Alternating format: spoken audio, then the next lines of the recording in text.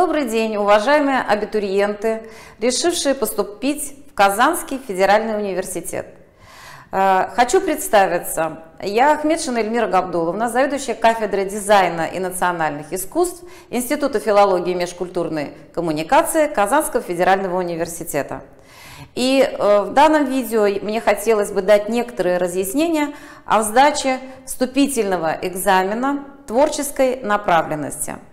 Для поступления на направление 540301 «Дизайн» и 440304 «Профессиональное обучение дизайна интерьера» необходимо сдать творческий экзамен по рисунку. Я думаю, что те абитуриенты, которые выбрали данное направление, уже имеют понимание, что такое рисунок, и имеют определенную подготовку для того, чтобы достойно его сдать. К сожалению, в этом году нам приходится э, ориентировать, переориентировать данный вступительный экзамен на те условия, в которых мы сегодня существуем.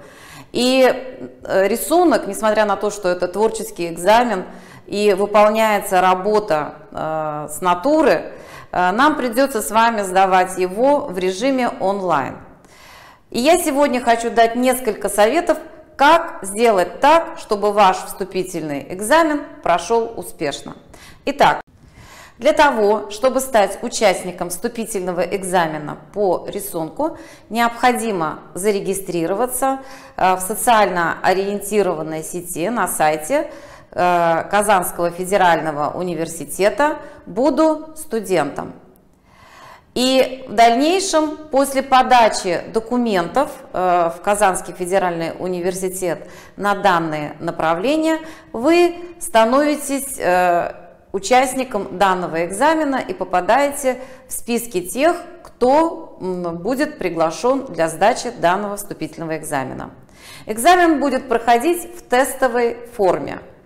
Э, зайдя на сайт, вам нужно будет выбрать учебную дисциплину рисунок, и каждому из вас откроется окно с вашим тестовым заданием.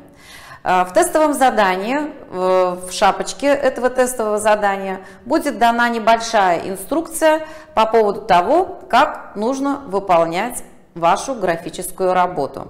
Еще раз хочу сказать, индивидуально каждому из вас э, на ваш Э, личный адрес, э, придет изображение того натюрморта графического, который вам предстоит нарисовать в условиях э, вашего пребывания дома или там, где вы будете как раз этот экзамен издавать.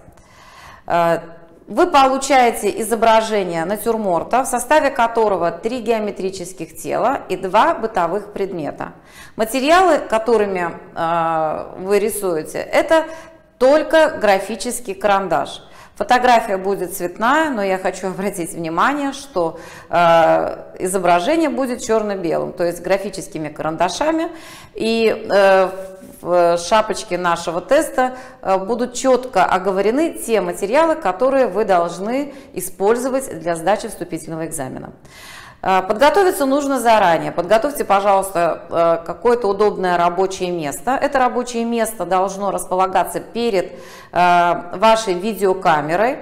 Ну и, соответственно, перед монитором компьютера, потому что именно на мониторе и будет изображение вашего натюрморта, который вам нужно будет изобразить. Э, желательно подготовить планшет формата А2. Если нет такой возможности, то любую жесткую поверхность, на которую вы сможете наклеить, э, прицепить или э, приколоть с помощью кнопочек лист формата А2, лист ватмана. Хочу обратить ваше внимание, чтобы вы заранее приобрели бумагу хорошего качества, желательно, чтобы это было госзнак, так как все-таки рисунок э, требует исправлений, корректировок, работы с ластиком.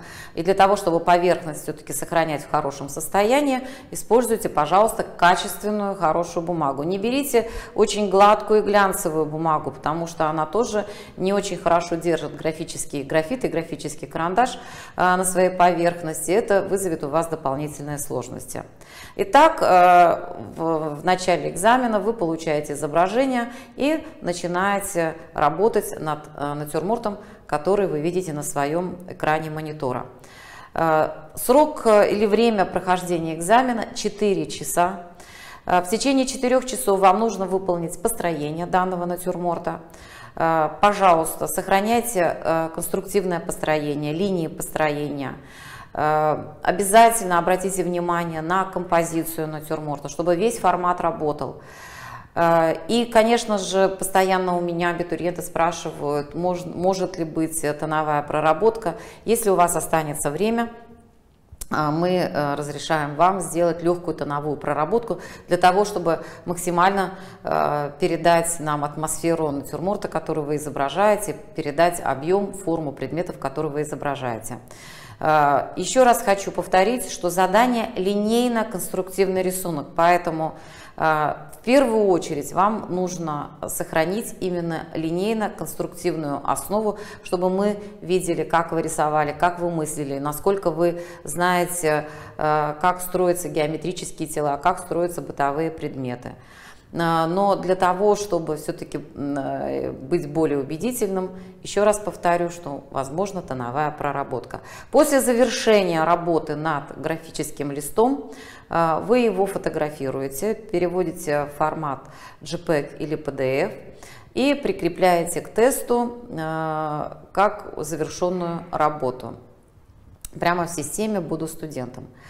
А, и еще одна просьба, помимо того, что вы э, прикрепляете э, данную работу э, в, в тестовой форме, вам ее нужно отправить, фотографию вашей работы на электронный адрес, который будет указан в тестовой системе.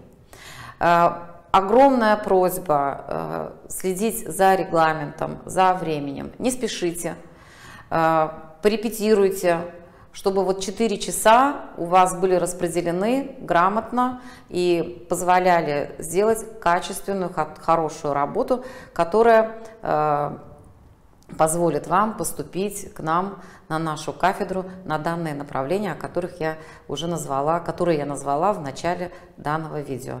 Ну что ж, успехов, до встречи 1 сентября. Надеюсь, что ваши планы реализуются и мы вас увидим. В качестве студентов Казанского федерального университета.